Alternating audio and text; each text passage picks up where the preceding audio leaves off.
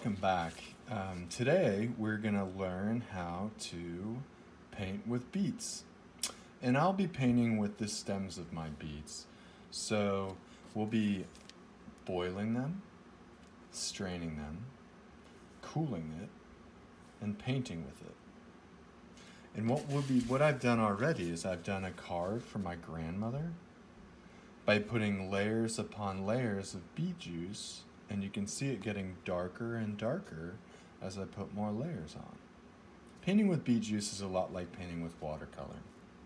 It takes time and patience to build up layers of darker and darker color.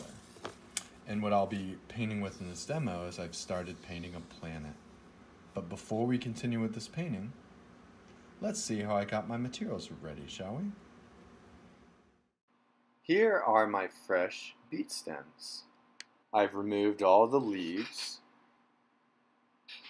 Then I've chopped them into smaller pieces, measured out four cups of water, and now I've brought that water to boil and I'm adding the chopped pieces of beets. Next I'll turn the heat down a little and boil the beets for 20 to 30 minutes. After they've boiled for a while, I'll scoop some out just to check the color of the juice. Now that the color is right, I'll carefully strain the juice by pouring it through a strainer back into my measuring cup. Be careful not to spill. You can discard the extra beet, beet stems and then let the cup sit to cool for a little while before transferring it into another container and cooling it in the fridge. Now that our materials are ready, we're ready to paint. What you'll need is a cup for cleaning your brush, so find a cup and put some water in it. You might need a piece of paper towel or extra paper to dry your brush on. Maybe try to find two different br uh, brush sizes and if you can't find a brush, you can also paint with a Q-tip. I'll be demonstrating with both. Now, like I said before, I started this card for my grandmother and carefully painted the lightest layers you see are the first layers, and then I carefully came back every few minutes after those layers would dry and added more layers of beet juice to make them darker. And so what I've done to start my picture is I found a piece of paper, and this is watercolor paper, which is designed not to ripple as much as it gets wet. You don't have to have watercolor paper. You can paint on any thicker paper material, and you'll have a successful art project. What I did first is I found a circle, and I used my pencil and lightly traced a circle to guide my first brush strokes. And then I used the juice and painted my first layer within that circle. And as you can see, it's dried in areas where the water, where there was more water, the edges were darker, and when there is less water, we have a lighter color. And so now I'll keep painting and adding layers of color of beet juice. And I'm painting a planet. I'm thinking of the planets I've seen before online and how they have a marbled appearance, right? Because what we see is their atmosphere. So there's no rules to it looking exactly like any particular planet. This could be my fictional planet of the beets. But what I'm trying to do is maintain that circle shape for now. And where you see puddles of water will be darker areas as they dry. So use your brush and paint within the circle that you traced. And we'll let this sit and come back to it in a few more minutes. Like I said, watercolor takes a lot of patience. Now that that first layer is dry, I'm going to use my thinner brush to make thinner lines and more detailed areas.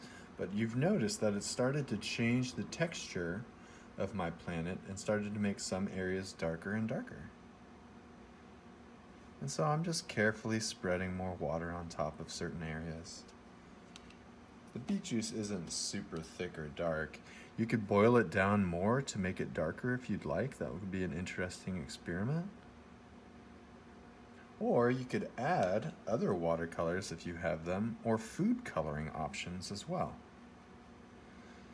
Once you have your colors, the strategies for watercoloring are pretty much the same. Just taking your time, adding layers, and being willing to stop and come back. And here, we'll let that sit and see what it looks like when it's dried. Now that that's layers finished, let's paint with our Q-tip and see what we can do. So I know that I got my darkest areas on my card for my grandmother by just putting some dots down and letting them sit, which takes a lot of time to wait, but who am I kidding? I'm definitely not going anywhere anytime soon. So I'm just carefully loading up the Q-tip and then just placing a couple dots on my shape. And then you can even use it like a brush to add a little bit more beet juice to certain areas.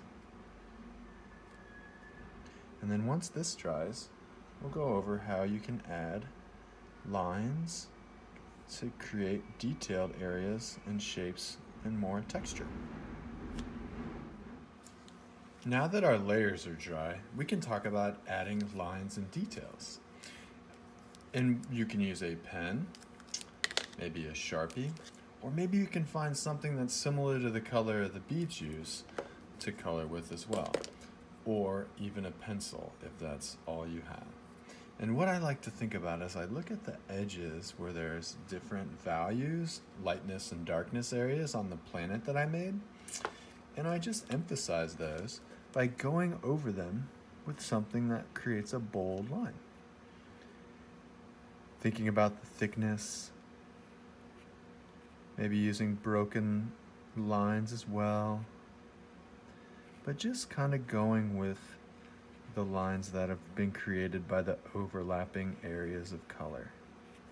Notice how much those pop out.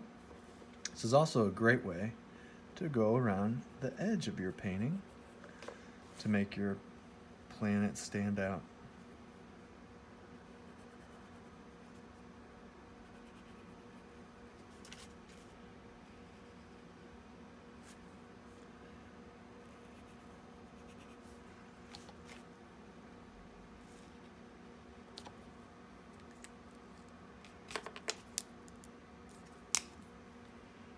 Adding a little bit of a similar color. Oh, Whoop. It's like it's not drawing so well. Oh well. Going over with something even thinner to create a variety of types of lines. That variety of lines helps create a sense of texture and adds different levels of detail to your beet juice planet painting.